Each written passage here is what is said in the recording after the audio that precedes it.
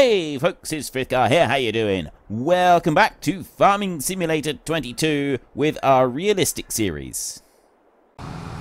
There is a route to get into the field, it's not on this corner though, is it? We had to go further up. We can't get through there, unfortunately. There is a post there on the corner, but it's it's a little bit inconvenient for us. It's a bit of a shame, actually. It would have been better if we could go up there. Um, zebra crossing there. Clearly, um, we have right of way over a zebra crossing across the road. I don't know if, if someone tells you different to that. Yeah, I'm I, I, I'm I'm not going to pay any attention to it. I'm not paying any attention to that at all. Right, let's turn these off, and then I want to do Control X, which should unfold everything. I can leave these swathed up, but I mean, we can have them swathed or we can have them not swathed. But what I'm going to do in order to make this a little bit easier for us, because we don't want to just pick this stuff up, we need to turn it into hay first. Did I lease everything? I don't remember if I leased everything that I needed in order to do this job. Tedder mower. Uh, where's the baler? I got the tedder there. And I got the mowers. Did I buy the baler? Because I know I want that baler. Ah, right. Well, I didn't. What I'm going to do here is... I think it's control... Right, it's control Y to toggle the work mode. Uh, we've got... It's open at the moment, so it just spreads everything out on the ground. That closes both, and that leaves a single swath. That opens out one side, and you do it again, it opens out the other side. So what we'll have here is this. So I can control B to start it all up, and then Control Y, uh, Control V, and that will lower them down. So what we've got now is the front one doesn't change at all. That one just leaves the stuff as it is on the ground. The back two, I've got one is sweeping it in from the edge and putting it into a little bit of a swath. This is going to make it a lot easier for us when we're doing the rest of the field. So we're just pulling the grass away from the very outside edge the rest of the grass will just be left out on the ground, but anything that was in close to the hedge is now being moved back a little bit. Um, I know quite a number of farmers who will go into a field that they want to make hay from, and they will cut the outside round of the field, and then they will go through and they will bale that up and turn that into silage. And then the rest of the fields they will go through and turn it all into hay. But the outside round, because that outside round is usually the bit that's underneath the hedge, um, so it's very often it'll have a bit of shade over it from trees and stuff like that. Um, it can make life a little bit more difficult to actually turn the outside round in hay and have it at the same rate as the rest of the field. Now, if you haven't got anything overhanging your field, if you've got no trees or anything like that, it's not going to make any difference. But if you have got a lot of trees and the hedges all the way round, baling up just the outside round into silage and then doing the rest of the field as hay is something that's actually fairly common, I've been discovering. I've had a few people comment and say that they actually do the same thing on their farm. And some people only do just like a just just one strip around the outside because they want to make as much hay as possible. Um, but it's still more convenient to do that than it is to actually make the entire field into hay anyway. Um, like if you have the entire field made into hay, it can be difficult getting the outside edges to be done at the same time as the rest of the field because the problem comes when the middle of the field, the bulk of the field, is ready to turn into hay, ready to bale up, but the outside round isn't. And if you go over and you turn it again, the stuff in the middle of the field, it can get too dry. And that is something that does actually happen. I mean, I don't know about other countries because I don't live in other countries, but here in the UK, um, it is actually a thing. It can be a bit of an issue in the grass gets too dry, it gets brittle and starts to break up, and it doesn't hold very well, and it can become dustier. So you don't want your hay, your grass to dry out too much. It becomes brittle, it's dusty, and it's not very good quality hay. Hay isn't grass that is completely dried out. It's grass that's mostly dried out. but it still has moisture in it, and that, that moisture in it is part of what helps to actually turn it into hay. There is a process in the making of the hay. Once you've baled it up, you need to leave it for a while, and then it goes from being dried grass that's been baled up, and it actually turns into hay. So I, if, I don't think it's like um, fermentation that occurs when you're making silage, because that's what happens with the silage, um, is the grass is fermenting in the plant. It's not quite like that. I think it is similar to that, but I do know, and I only found this out recently, I didn't actually know this before, um, if you take hay that you have cut and baled, and you've only just baled it up, and so you say you turned it into hay bales maybe um, a week beforehand, if you feed that to horses, it can make them really ill. You have to wait until it's finished making it into hay, and I, I'm not sure how long you're supposed to leave it for, but it can actually make horses ill if you give them hay that is not properly made. And I genuinely didn't know that. I really didn't. Um, I only found this out recently. Uh, well, I say recently, it was um, last summer I found this out. Um, but it still surprised me. I had absolutely no idea about that whatsoever. The fact that um, hay that has not actually formed yet in the bales um, can make animals sick. I, it, it, genuinely surprised me. I was, I was really, really genuinely shocked at that. Um, right, what have we got? That is now completely done. So we've got a trailer over there that has got some... Well, we could go and put sugar beet in it. I'm not going to, though. What I'm going to do is I'm going to drive this one back up to the farm, and I'm just going to tip this straight out, so I don't need to use that trailer yet. We can pick the trailer up later, and we can take it up to the farm. That'll be absolutely fine. I need to go and check on the um, the weeder, and that one's finished as well, so we're going to want to move that one. We've stopped the traffic on this road so that we can bring this one up the road here like this. I'm hoping that I can squeeze in around here without any trouble whatsoever. And then I can put that one out like that, and it should tip everything in. Bring you over there like that, and yes, it does. That's just going to dump all of the sugar beet in there, and if we have a look in here, that one's all now finished. We are going to need to put another round of fertilizer on that field, so we're going to do that today as well. Uh, we'll probably end up having to do the same for 22 then, aren't we? Uh, let's have a look in here. Sugar beet. We now have 230,000 litres of sugar beet. That's pretty good. We've got another field to go and harvest yet, so we're going to have a nice lot of that. This one is still 15,000 in there, so that one's doing quite nicely, and we've got the cut sugar beet. We'll want to be moving that over and putting in the new one soon. Um, but that's not something that we need to do just yet. So I'm going to bring the harvester over this way. Reverse it up there. And we're going to stop right here. So let's turn off those beacons. Lower down the header. And shut that one off. That one is now all finished. Next, I do need to start this one. So, as I said, what I'm going to try with this one is I'm going to just put it going in the corner of the field. I'm not going to drive around the edge of the field at all. I'm just going to let the tractor go and do it all on its lonesome. See if that actually works or not. I have no idea if it will. Um, usually it causes trouble with the fence lines. So let's do that. I'm not going to watch. Just going to leave it there, let it carry on. And we have got a bit more mowing to go and do. So this tractor does slow down a little bit going up and down the hills. Well, well, up the hills at least. Down the hills, not quite so much. Um, but he seems to be doing a pretty good job. We've got a nice wide cut here on the grass as well. I mean, maybe we'll get the wider cut later on with the really, really big mower. But the problem with the really, really big mower is that it, the tractors, the hired help, seem to have trouble with those ones actually getting around the corners, which I really didn't like. So I'm just going to bring you around there and then go into it in this direction.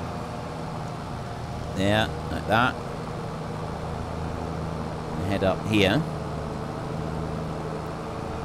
So there's various different types of leaf cutter ants. There's one type of leaf cutter ant that um, lives in Argentina on on the I think it's the, the, the Pampas in Argentina, and they specialize in just grass. It's vast grasslands there, and the ants, like most other grasslands in the world, are maintained by large herbivores, and it's large herbivores that keep them as you know large areas of grassland.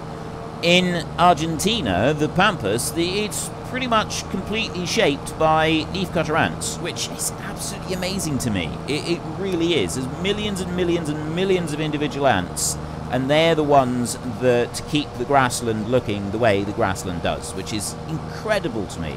Um, and the other good, you know, amazing thing about it is they take all this material in, and then they have um, waste from the colony that all gets buried into the ground. They put that underneath their colonies, so it stays buried in the ground, which I think is even more amazing. So basically, they're just going along and quietly fertilizing the vast pampas and uh, the grasslands, um, keeping it all harvested and then fertilizing it and keeping the grass growing, and it's it's absolutely incredible. Those are specialized grass collectors. Um, most other ones, they go for broadleaf plants rather than grass. And there's, I think they have slightly different uh, fungus that they grow.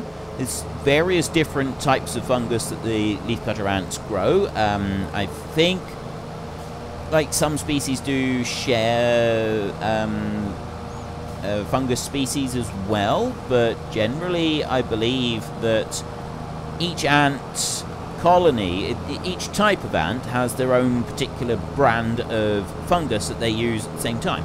And this fungus is everything is focused around this fungus. Every, everything. Um, some types of ants, they actually have another type of fungus that grows on them. It grows on their backs. And it's a type of... It's almost like a penicillin, and it keeps their fungus healthy. It, it, helps to stop diseases coming in and affecting their fungus. Now, it's not all types of ants that have this, um, but it is some, and I think it's absolutely incredible that you've basically got these ants are farmers, they are growing crops, and they're actually using pesticides to keep away other diseases and other competitive funguses that might turn up in their nests they're actually using pesticides to keep it all under control. Um, naturally occurring pesticides rather than, you know, manufactured chemical ones that just indiscriminately kill everything like we have, but you get the idea. And that's absolutely incredible to me. I, I, I never cease to be amazed by ants. I think they are utterly incredible. And even those of us here in the UK or in the rest of Northern Europe, I don't know if you have them in the US, um, the, the black garden ant. Um, It'd be in the more northern parts of um, the US if you do have them because they don't do well in a tropical climate. Um, one of the biggest issues that people have who keep them as uh, pets is if you've got them in a central heated house, you do actually have to hibernate them. Because if you keep them in a centrally heated house and you don't artificially hibernate them, as in make it go cold. Why have you stopped? If you don't artificially hibernate them, um, what you end up with is the queen ends up... She sort of gets really, really sluggish and her laying slows right down and it's actually really bad for the colony. So you do need to make sure they experience cold temperatures so that they hibernate and sleep for the winter. And if they don't do that, ultimately those ants can die. And it will kill off the colony because they're just they're evolved to a temperate climate and not a warm tropical one. So that's one of the big issues that people do face with um, an ant colony that is for a temperate climate in a centrally heated house. The ants don't hibernate because the temperature doesn't get low enough. And then you're left with ants that need to hibernate but haven't because the natural triggers that they would get from lowering temperatures haven't happened, and it essentially they just get worn out. Um, so you do have to pay a little bit of attention to them. But those ants, they're also farmers. They go out and they um, if you've got a lot of aphids on plants nearby, near their nests, they will carefully look after, clean and groom all of those aphids. They, they really do care for them a lot. Aphids feast on the sap of plants. That is what they do. They, they consume vast quantities of sap out of plants. Anybody who does a lot of gardening will know that aphids are not necessarily very good for plants because they drink all the sap. And if you've got a heavier aphid infestation, it can be a bit of a problem. The ants, they like the aphids because the aphids, they drink the sap in order to get the sugar from it, but they cannot convert all of the sugar. They can't use it all, so they excrete the um, any of the liquid and the excess sugar in a form that the ants can actually eat.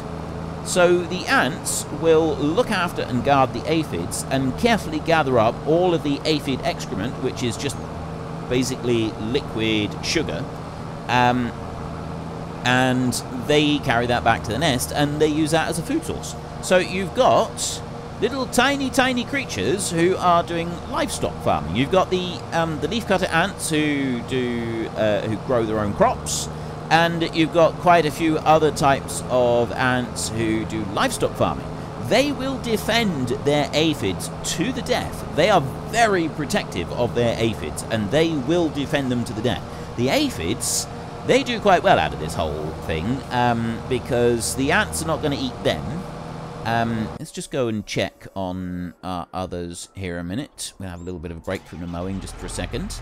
Um, the aphids are not going to go and eat the little bit there that needs to be turned. Um, aphid, the, the ants are not going to go and eat the aphids. They look after the aphids. The aphids provide them with food. So they will look after. The aphids do really, really well out of this arrangement. They get a nice source of food, and the ants will fight off any predators that they might have. Um, I haven't really looked into what the ants do with looking after the aphids, whether or not they do um, cull some of them occasionally or anything like that. Um, I did remember, I, I, do remember reading somewhere quite some time ago that ants will move aphids around. I don't know if that was accurate information or not because I haven't seen it anywhere else since, so I don't know about that. But I do know that you've essentially got ants as livestock farmers.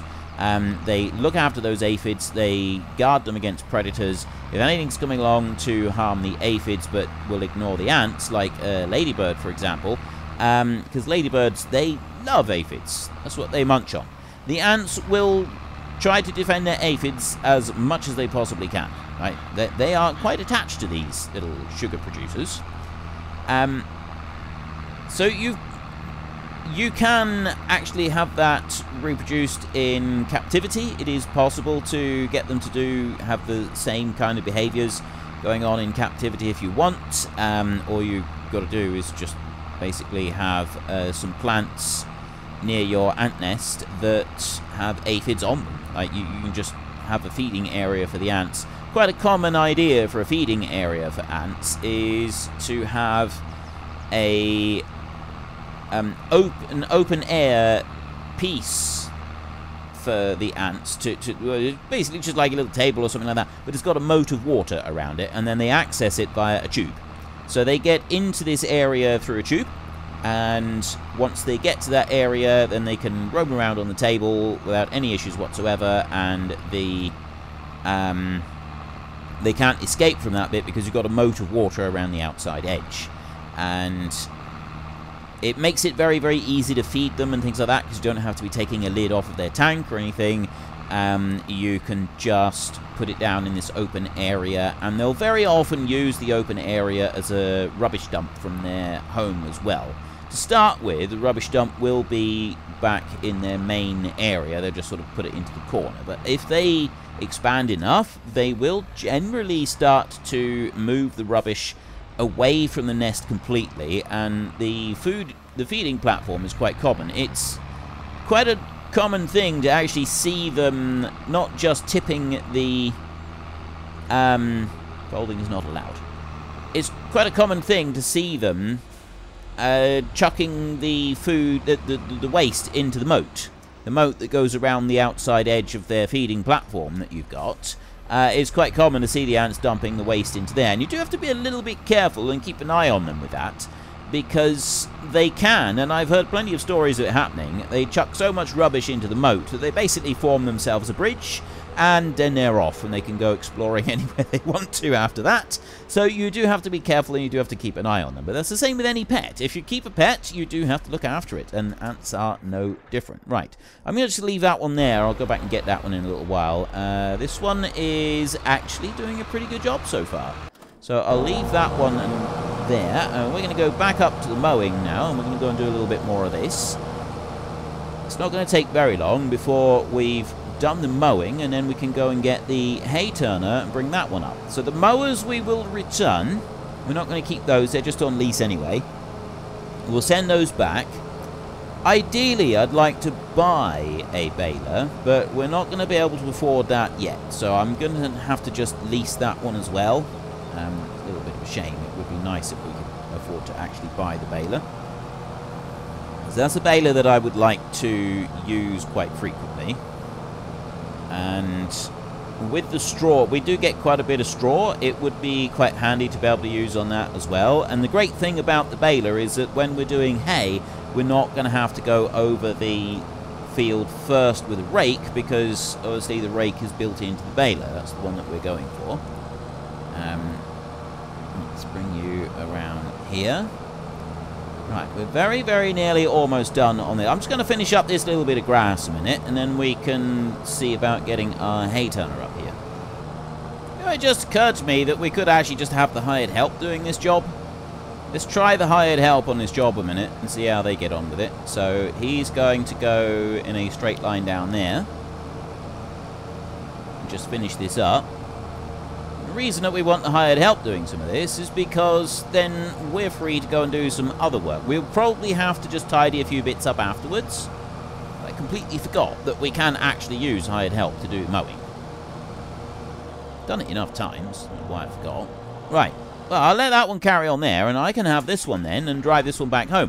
So I'm done with this. The Sugar beet field that we went did, that one's going to need to be ploughed now. So I've got to plough that one up, and I will ultimately have to plough field 35. Uh, field 36 is currently needing a layer of lime across it. Now, the needs rolling. Found out why none of the fields seem to need rolling. I was confused as to why they didn't need rolling. and maybe it's just something that we don't have on this map. It turns out, uh, thank you very much to... Uh, Wait a minute. Lucas Fent Farah Army. Um, thank you very much to Lucas Fent. Um, he let me know after watching one of the videos where I was saying about the, the rolling. He said, yeah, that's because you got a mod installed that actually stops that. It's called the Seedbed uh, Reconsolidation mod. And it basically adds a roller function to most of the seed drills. I completely forgot that I had that one. I do remember seeing it when I first installed it and thought, actually, that's really, really good because rolling is like such a tedious affair and uh, generally it doesn't really add much to the videos that I do. I mean, yeah, it, it does add a, a, level of realism to it, but it doesn't add a lot to the videos. It'd be nice if we could just skip that stage and have the fields rolled. And turns out that we can. So thank you very much to Lucas to pointing that out to me. That is absolutely fantastic. Um, I'll wash the rest of the tractor in a minute. We're going to go... You know what? This one can just stay with the plough hooked on. I don't actually need to take the plough off because I don't think I'm going to want to do anything else with this tractor for at least a little while. So I'm just going to tuck that one in there. I will actually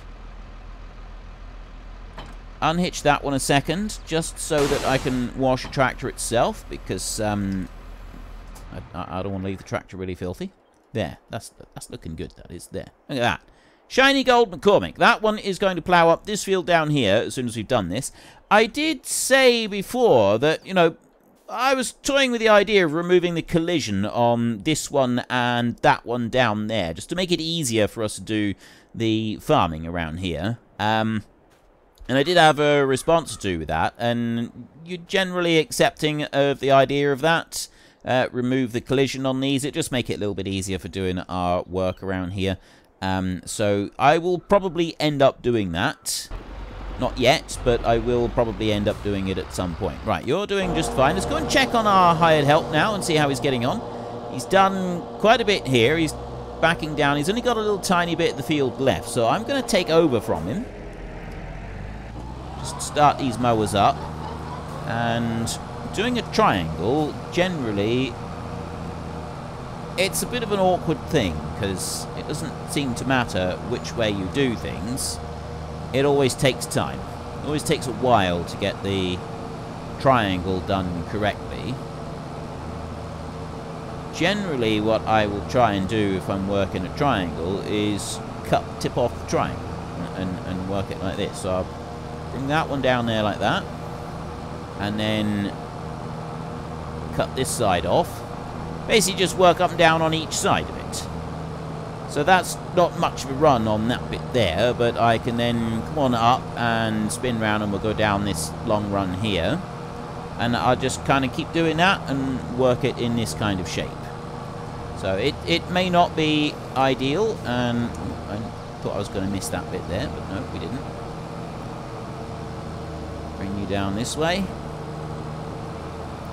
It's also quicker than stopping and shunting backwards and forwards, turning round to completely go back on the run that I've just done. I can go up there. And two more passes and we're done. And then we can fold this one up. We'll take the mowers back. They need to be returned and we will get the great big hay turner that we've leased. Put that one onto the tractor and then that's it. We bring that one up here. That's going to be very, very quick to do. I don't actually need the back mowers down at all. I can lift those up, even turn them off. Do that bit there. Right.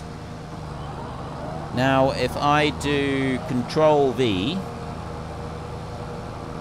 and lift them both up, Control B to turn them off, Control X will fold both of them up the same time. I really like that option, being able to just do everything all at once. Does make life a little bit easier, doesn't it? Uh, is there a better way? I don't think there is. I think we do need to go out this top end of the field every time. I don't think there is any easier way to get to the sheep. I mean, we could go out up there, and then you've got to go down that road and all the way there. So this is definitely the easiest way. The easiest way would be out that corner there, but that one's not an option, unfortunately. So we have to go out here. Now that we own this field, I feel like we should do something out here. Just, just put a little track in across that bit of scrub there. I mean, I'll be honest, I maybe we don't need to put a track across that bit of scrub because I've used entrances like that in the fields Unfortunately, folks, that is all we have got time for today. A massive thank you to everybody who has earned their way into the Great Book of Names. To find out some more details about all the names coming past, please head into the description and click on the link to the Discord. It's a link to another video. The link is on the other video. Uh, please also consider checking out the links there for Nitrado, who provide gaming servers for games like Farming Simulator, Minecraft, Ark, and several others. And there's also Fanatical, who will help support your gaming habit by providing you with cheap games and also giving me a small commission on anything that you buy using my link. Uh, if you've enjoyed this particular video, then please head down below and give us a like. And if you really enjoyed it, then please tell your friends all about me. Get them to come and watch as well. That would be awesome. And until next time, thank you very much for watching. This is Frithgar. Goodbye, and see you later.